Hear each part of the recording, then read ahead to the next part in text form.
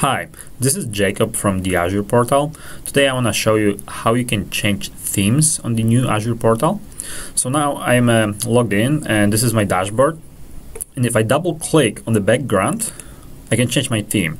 Now I am in the dark blue. If I double click again, now I am in the light theme. If I double click again, I'm in the dark theme, my favorite by the way. And if I click, if I double click again, I am back in the default blue mode.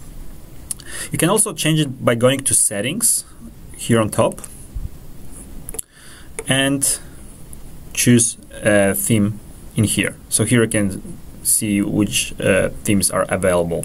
So I can say dark, I can say dark blue, light, or default blue. So I'll just set it to dark because that's my favorite and I can have my dashboard in a dark theme.